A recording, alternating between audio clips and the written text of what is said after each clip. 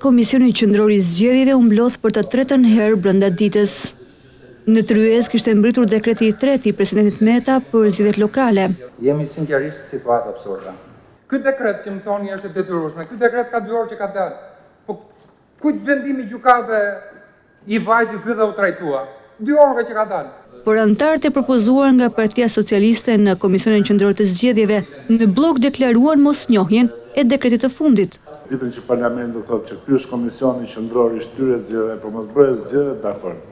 Nga dita që ky quhet Komisioni Qendror i Zgjedhjeve kemi për detyrë funksionale të organizojmë të bëjmë zgjedhje, Ka dalë datë zgjedhjesh në kohën e përcaktuar nga Kodi Zgjedhor, nëntë muaj para datës zgjedhjeve, nga nëntë muaj dhe mbrapa Presidenti i Republikës nuk ka më asnjë lloj tagri, janë shpërndarë gjithë fletët e votimit në të gjitha KZAZ-të në gjithë Shqipërinë, çdo gjë është gati, ditën e diel qytetarët të venë të votojnë Për ata që kanë kandiduar në zgjedhje. Për gjithë arsyet që na janë vleftësuar nga gjykata dhe sot kemi vetëm një detyrim, të zbatojmë një vendim gjyqësor, i cili është i formës së prerë.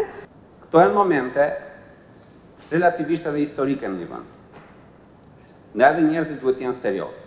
Duhet të jenë seriozë në atë që thonë, ë nëse nuk dinë se ç'thonë, më mirë të heshtin.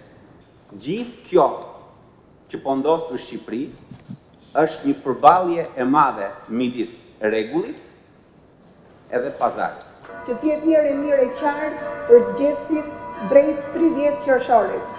Ky është vendimi dhe duhet të jetë rruga e kujdo, rruga ligjore. Në këto kushte komisioni vijoi punët e fundit përgatitore për të mundësuar zgjedhje në tridhjetë qershor.